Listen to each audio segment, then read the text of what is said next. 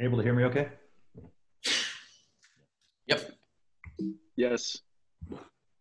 So here are my disclosures. Um, I think just want to highlight the uh, bottom one that I've never had a conflict uh, with Mazor. Um, I do uh, teach a lot of these courses um, now for Medtronic uh, over the last uh, couple years.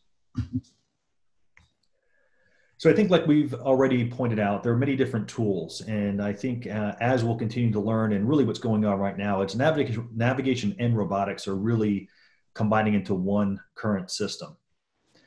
We think of this uh, certainly very much like what's going on um, in other areas of technology, where a company like Tesla, 96% of their cars are automated. Um, the construction um, is as such, and I think that's hugely beneficial. We know that robotic technology is a little bit different than navigation, has been pointed out, and that it's really based upon segmentation, uh, which is the ability for the bony anatomy itself to drive this. We don't worry about things, um, as Terry had pointed out in the last couple talks about bumping the fiducial or being an issue with the alignment, um, because if that changes, the segmentation still stays on track. The one benefit now of the systems that are incorporated, where navigation is incorporated into robotic technology, with the robotic arm is that it uses that really as belts and suspenders. So there's a really nice way to check comparatively. So really, how does all this work? And I think one of the things that they asked me to talk about is the quad rod technique with the MIS applications. And so I think it's incredibly important. Really, just uh, coming upon the discussion that we had was, you know, how do we do this?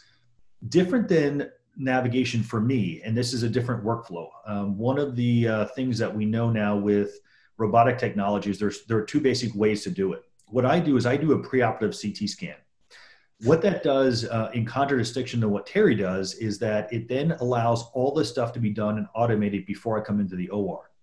You can also do what's called an intraoperative scan and plan, where you come into the room just like we do for navigation. We bring the you know O-arm in or ARROC in, uh, you can spin the patient. That then gets fed back into the system, and you can really do it with uh, similar steps to what we currently currently do navigation.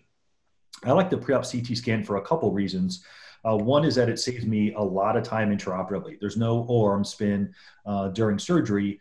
We all have uh, we have all the plans and screws ahead of time, and so then we can incorporate this into a planning software. And especially with some of the cases I'll show at the end that I've published with uh, Martin Pham, who's really um, um, done uh, these uh, types of cases, is the planning is really critical to really understand what you're doing. These planning software uh, technologies now are incredibly powerful, much better than the ones we've uh, used for the last 10 or 15 years, and that to become very much automated.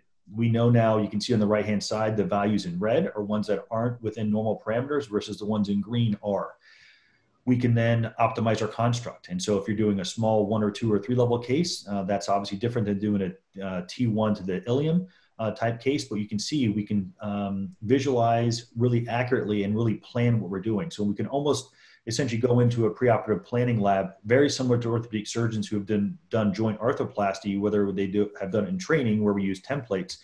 We do a lot of that stuff ahead of time. In addition, we get a surgical plan. And so this surgical plan then goes out to the NRC, the scrub tech, the circulator, the fellow, um, the sales rep, and we know exactly what screws we're going to use. Sometimes we do change these a little bit, but it's pretty uncommon. And so if you're doing a one IS, uh, one level MIS TLIF, like Terry pointed out, those four screws are ready to go. They're on the back table. They're preloaded. Once again, that just saved, that shaves a couple minutes off itself, but really everyone understands what we're doing. Certainly for smaller cases, uh, we can plan out different things like skin incision, avoiding the facets, but when we talk about doing really complex high end MIS applications of this technology, all these things are incredibly important because once again, we're going to look at where the extend tabs and the towers are going to intersect. Um, and that often ends up being one of the really challenging areas of these types of procedures. In addition, the placement of S2A screws is incredibly straightforward. It takes about 40 seconds to place an S2A screw and really uh, completely differently than when we do open technique we can save about two inches of skin incision and a huge amount of dissection because we don't need to see the start point. We just need to obviously have the skin exposed so we can place our cannula but we can also place these with a percutaneous technique as well. And one of the real benefits of using uh, these types of technologies even comparatively uh, or compared to navigation is we can see how they line up And so before we talk about you know some of the MIS like uh, MIS applications, I think we really need to look at a relatively what I call a relatively straightforward deformity case. So this is a 60 year old gentleman with about a 65 degree thoracolumbar lumbar curve. They also have some thoracic kyphosis. So we can once again look at the sagittal and the coronal imbalance and realize we're going to have to do quite a bit of correcting to be able to get this patient better aligned, not just in terms of his spinal alignment, but also in terms of his sagittal and coronal balance. So we get our supine film, not much flexibility. Uh, we look at our obviously imaging in terms of MRIs and preoperative CT scans to see where we have to do our decompressions, where the neural impingement is. But then we can incorporate it and import it into this planning software. So now we basically see, um, as sort of Pat just pointed out, is we can see where the screws are placed. The systems now you can look and visualize exactly what the screw looks like. Um, and so if we were to get intraoperative fluoro spots or intraoperative uh, even x-rays to make sure our screws looked pretty accurate, they should really line up and be exactly like this is on this uh, standing film. In addition, we can measure our sagittal profile. We know all the parameters, we know what our alignment's going to be, and we know where we have to perform our correction. We then can once again look at the coronal and sagittal parameters. In addition, you can see the rod length at the bottom. So we know exactly how long our rod should be um, as we place our schematic. But I think more importantly, we can do things like perform osteotomies and go through our planning process. And so, which I think this is incredibly beneficial for surgeons, but incredibly beneficial for residents and fellows to say, I'm going to perform three or four or five posterior column osteotomies. What should the curve look like? And then you can see, obviously, from doing this, our rod length is going to change as well. So we know how long this is going to be before we even start. It's another basically check and balance to understand that if we do this, we're going to end up with all green values on the right hand side and that we're going to restore not just our coronal, but also our sagittal parameters. So incredibly beneficial to think through these things. And this is really start to finish for one uh, particular screw. And so I think as was similarly stated, this is you know not sped up. Um, you can see our navigation screen in the back. And so that really acts as a nice checks and balance to see how quickly um, we're placing this in terms of how deep we're going.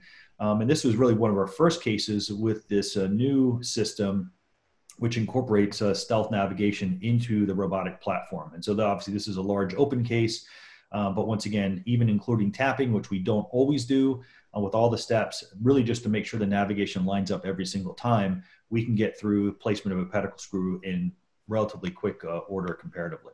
And here we can end up with a nice uh, case with good coronal and sagittal alignment. You can see what we do in the uh, coronal plane. And here we have multiple rods, but we also have what we call a kickstand rod, which really helps us push the patient back over into appropriate coronal alignment in terms of their CSVL.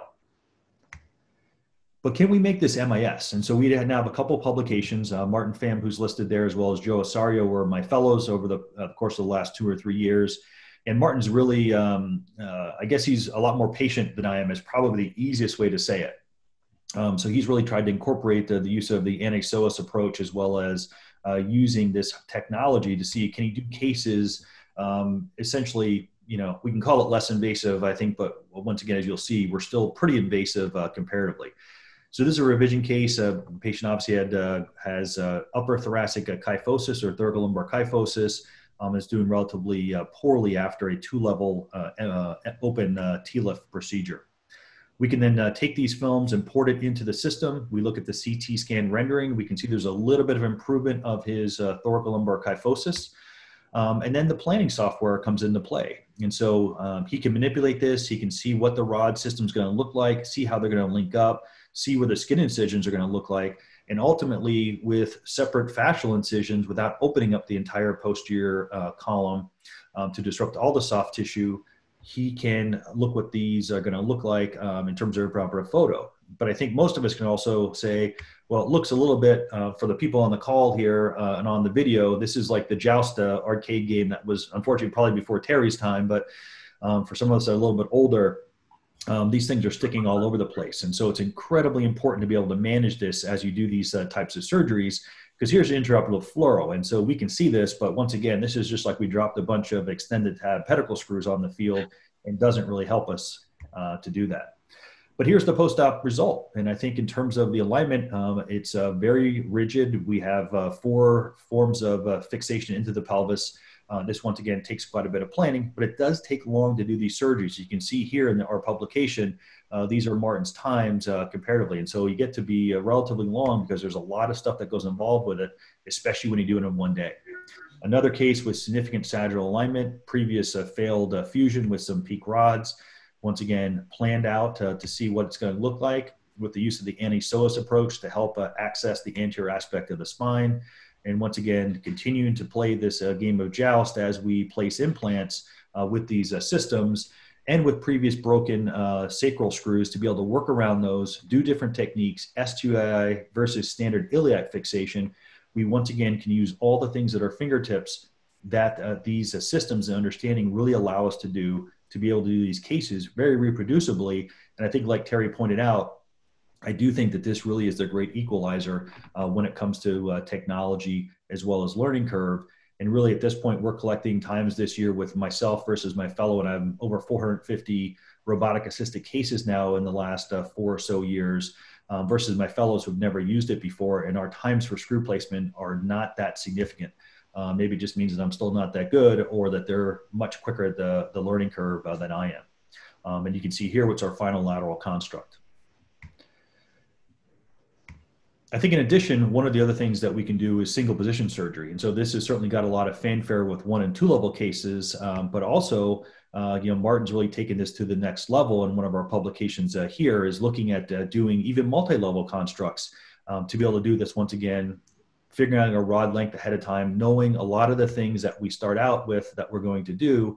I think these once again can be incredibly beneficial. And so as we finish the uh, ante-psoas or lateral or uh, type approach, we then instead of having to prep and reprep and redrape and flip, we can start placing these screws because these robotic arms are incredibly rigid and they go exactly where you want them to do. And I've done a, a few of these cases with Jamshidi needles. I've done a few of these cases with navigation. Those all work as well. Uh, but I have found that the rigid aspect of the robotic arm really completely changes the game in terms of this. We can see exactly what our rendering is going to be in both a 2D and a 3D format, even before we do the case.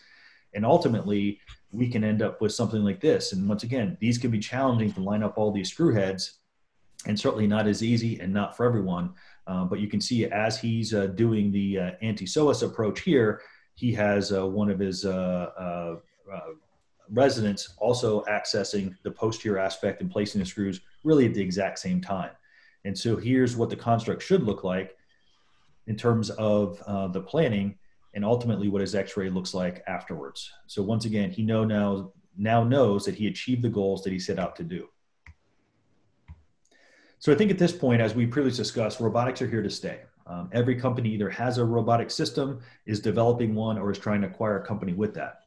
Certainly, having been in the military for the better part of uh, 28 years, uh, we know that a lot of these systems, in terms of everything we're doing, uh, firearms, the pilots, uh, military aspects, are really becoming down to automation, making things as efficient as possible and more reproducible for all of us.